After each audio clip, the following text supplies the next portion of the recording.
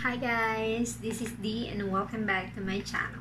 Today, dumating na yung mga packages ko guys from Shopee.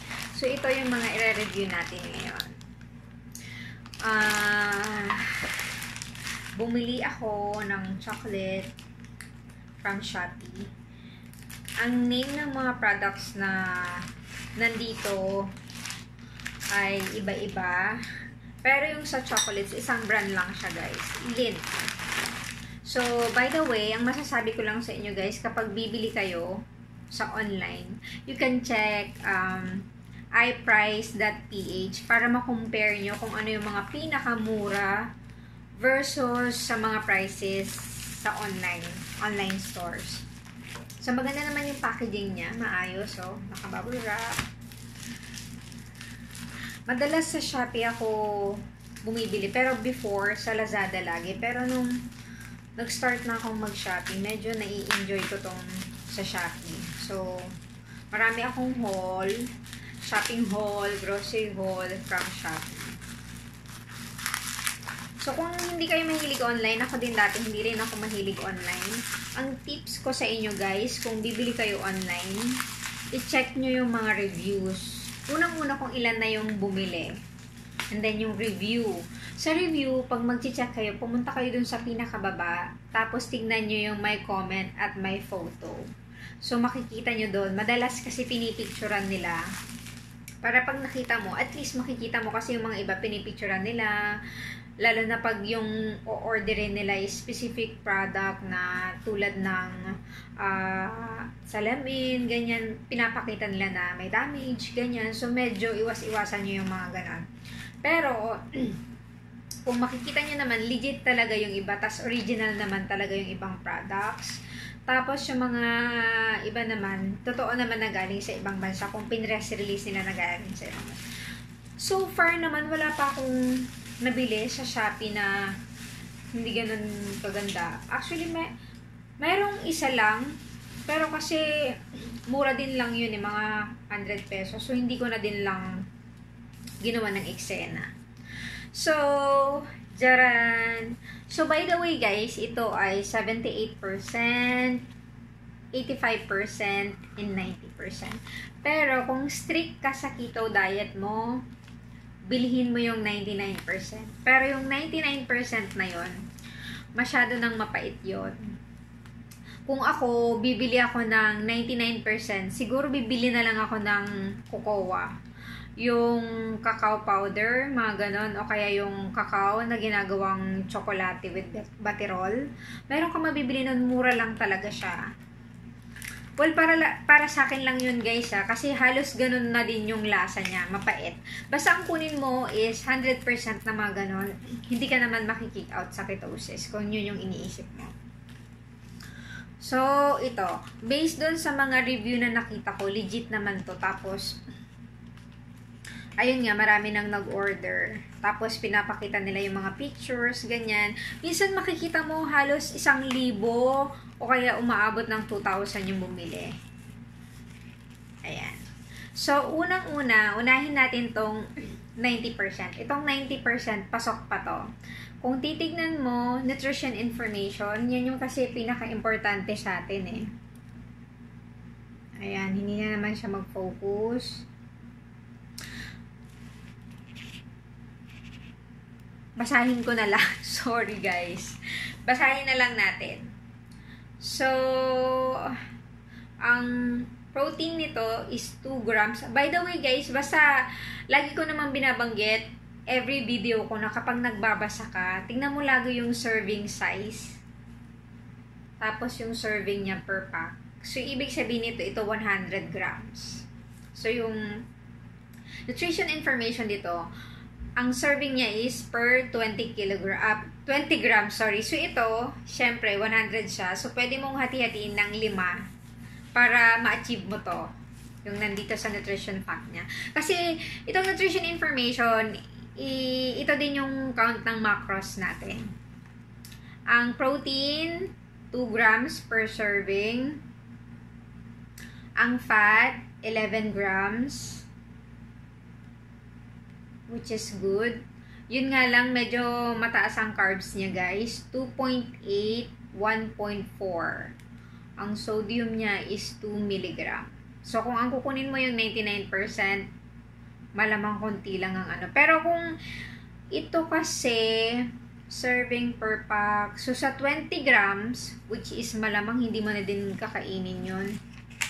Pag nagkikrave ka na lang. So, kung ito, ayan o, oh, may hati na rin naman pala siya o. 1, 2, 3, 4, 5. So, tingnan mo lagi yung macros mo guys. Ha? Kung ito ay, ang carbs niya ay 2.8, 1.4, ilan na yon 4.2, ang taas.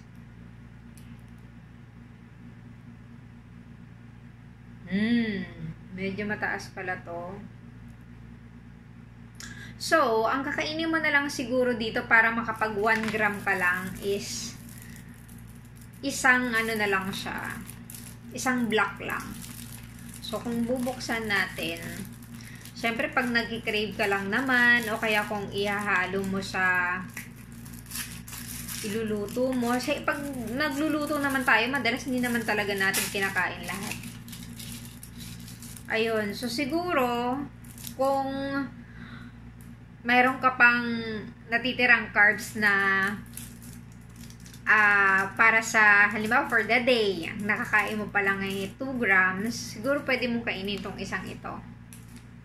Ayan. Pero kung nakarami ka na, para 1 gram lang ang kainin mo, hatiin mo pa to. Malaki naman siya, oh.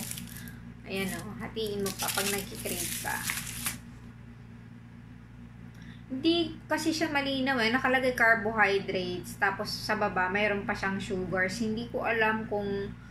Kasi dapat ang nakalagay kung kasama na yung sugars, total carbs. Pero hindi siya nakalagay eh. So magkaiba pa talaga siya.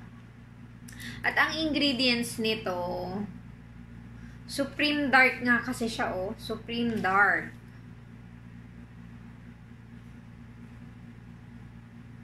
Hmm. Okay, so wala din siyang nakalagay dito, hindi ko nabasa somewhere else. Kung, pero excellence, 90% kukuha na rin to. So yun nga, kung ako, bibili ako nung 99% nito, yung kukuha na lang na may mga brand like Recowa, ganyan na mabibili ka. In fairness naman, April 2020 yung ano nito, expiration date.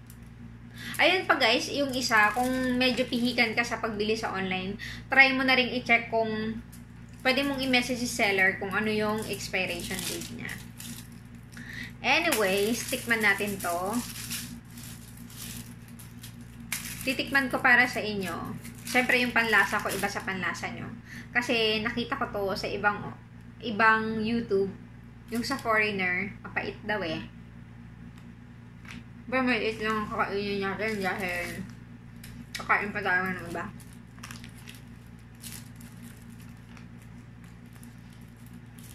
May nabili ako sa healthy options. 90% din. Halos pareho sila. Ganun din, mapait.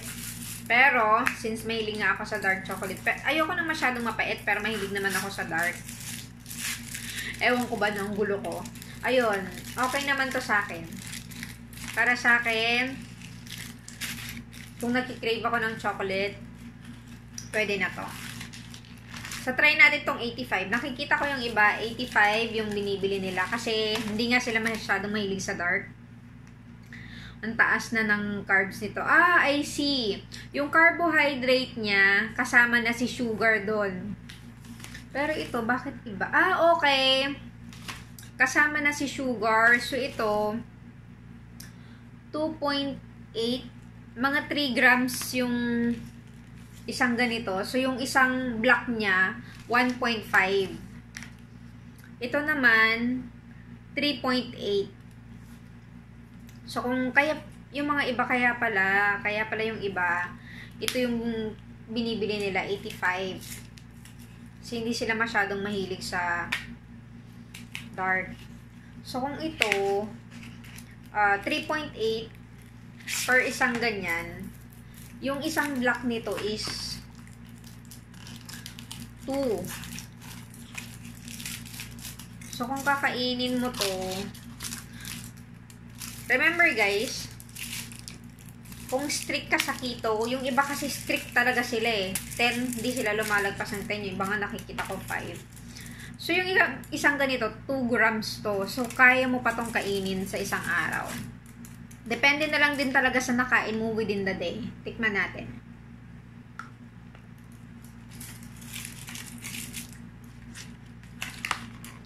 Ano ba yung mas matamis na to?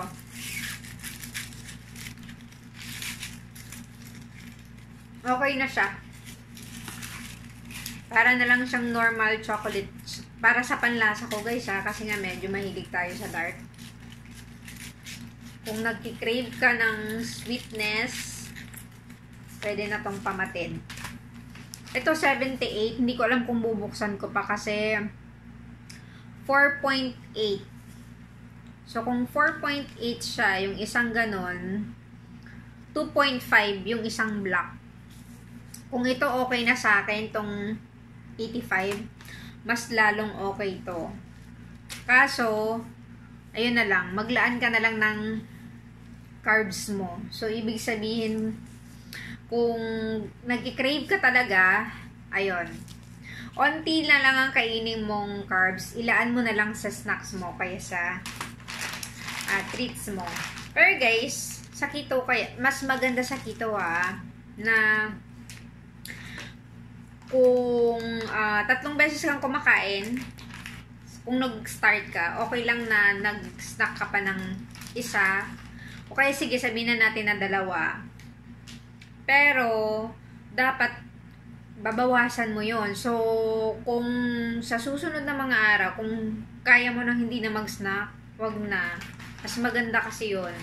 Mabilis kang papayat. The more na hindi ka kumakain ng mas maganda yung kumain ka ng sapat kaysa kakain ka ng paunti-unti.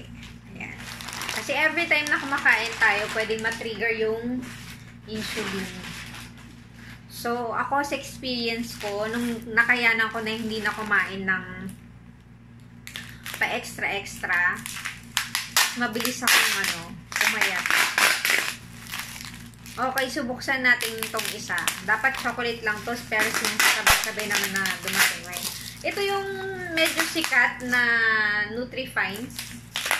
In fairness, nung bumili ako dito, may mga time pala sa Shopee na may mga discount. So, isa pang tip ko sa inyo, pag may nakita ka na gusto mong bilhin, ilagay mo na sa, ano mo, sa basket mo. Tapos, check mo from time to time.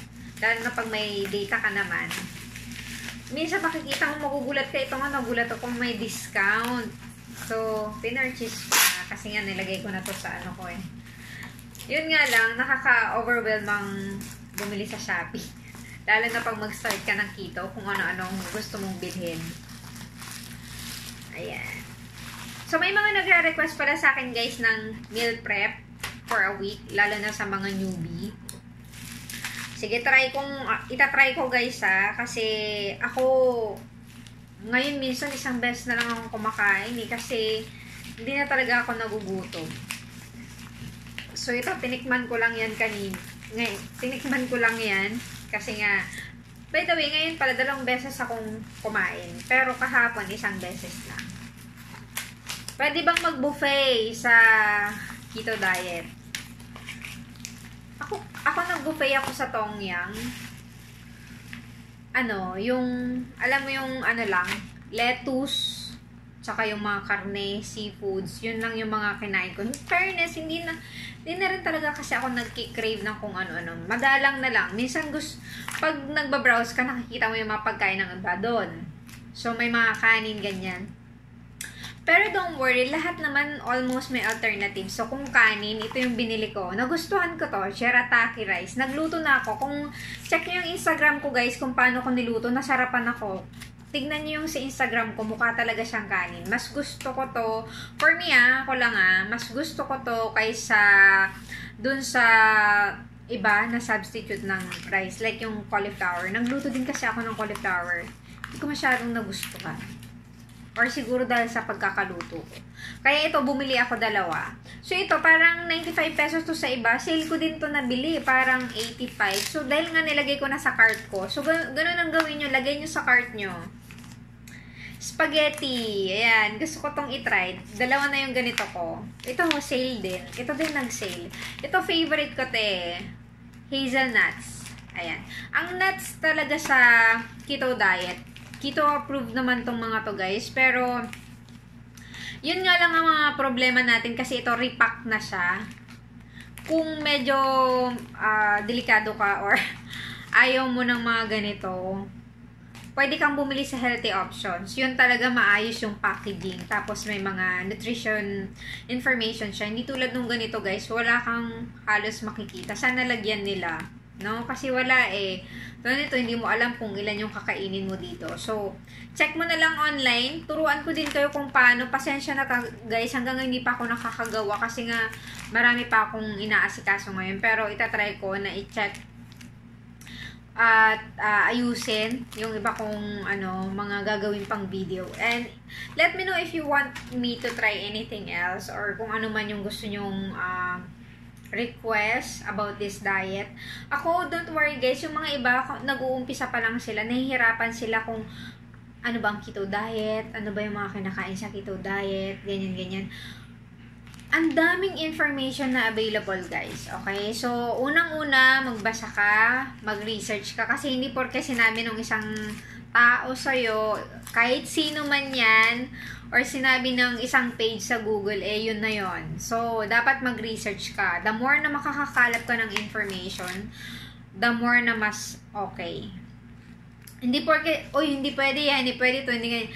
Minsan, may mga pagkain talaga na pwede, pero limited amount tulad ng carrots. Pwede naman yun eh, pero limited lang. Kung strict keto ka ng first week, second week, ayun, okay lang na hindi ka muna kumain. Tapos sa susunod, limitahan mo. Ako nung nag-start ako, kahit makikita nyo yung mga uh, kauna-unahang grocery haul ko, guys, hindi rin ako perfect eh. You don't need to be perfect din para mag-start mag-start ka na. Kasi ako tingnan mo, napunta pa rin ako sa ketosis kahit na may mga nakain ako doon na, yung mga una kong video, may mga tulad nung bumili ako ng green papaya, medyo mataas pala yun sa carbs. Pero dahil nilimit ko din lang yung kana kinain ko, hindi ako naapektuhan. So, ngayon, ramdam ko na talaga na nagbe-burn na ako ng fat. Unang-una, well, aside from losing weight, ah uh, hindi na, hindi na talaga ako nagki-crave ng masyado ngayon. Tapos yung kain ko talaga, kaya yung pagpa-fasting, mahihirapan ka din kung wala ka pa sa ketosis eh. Pero kung nasa ketosis ka na, worry no more kasi yung katawan mo yung magsasabing hindi ka gutom so hindi ka kakain. So, panoorin nyo yung mga videos ko guys. Sabayan nyo yung day 1 to day 2 ko. Promise, kapag sasabayan mo yun, mm, ma, ano, uh, parang ma-attain mo yung goal. Promise. Kasi yun, day 1 to day 7, after nun, naramdaman ko na eh. Nasa, ano na ako, ketos. Lahat ng symptoms, well, yung iba hindi nag-undergo ng keto flu, pero ako nag-keto flu ako, mararamdaman nyo, may time na wala kang energy. Kung yun yung mga nararamdaman nyo, gusto nyo mag-give up, ganun din ako panoorin nyo lang yun guys. Tapos panoorin nyo yung mga snacks, yung mga video ko about uh, uh, merienda, yung mga affordable na mabibili sa Pilipinas para hindi ka mag-cheat. Ako muntik na akong mag-cheat pero naagapan ng Gatorade. Pero yon hindi ko na masyadong nire-recommend kasi nang uminom ako doon, may sucralose kasi yun eh. Ang nangyari sa akin, siguro yung epekto sa akin, mas nag-crave ako talaga ng sweets. So, nung tinigilan ko yon umayos naman. So, paminsan-minsan kapag nasa mall ka, ganyan, gusto kaysa kumain ka ng cake kasi natatakam ka, tapos walang available na uh, products for keto, mag, pwede yun, minom ka na lang nun. And then, kung nanghihina ka talaga, kung ano-anong nararamdaman mo, sakit ng ulo, i-check mo yung mga kinain mo. Mas maganda talaga na chine-check mo yung macro mo. Okay? Hindi naman talagang todo check, pero so long as you know kung ano yung mga kinain mo, tapos yung mga count. Okay, yun lang for today, guys. Don't forget to share, like, and subscribe. And then sa mga susunod, gagawa pa ako ng mga ibang recipe. Nakita ko din, maraming nag-request sa akin kasi gumawa ako ng bulletproof coffee. Gagawa din daw ng milk tea. Ay, hindi pa ako nakagawa ng sarili kong milk tea, guys. Pero nakabili ako ng milk tea. Sobrang sarap. Hokkaido yun. So, kung gusto nyong malaman kung saan ko siya binili, review or watch my previous videos. Thank you so much for watching and don't forget to subscribe kasi don't forget then to click on the notification bell kasi madalas ako mag-upload and check my IG, Instagram, didang underscore ph. Thank you and have a great day. See you next. Bye!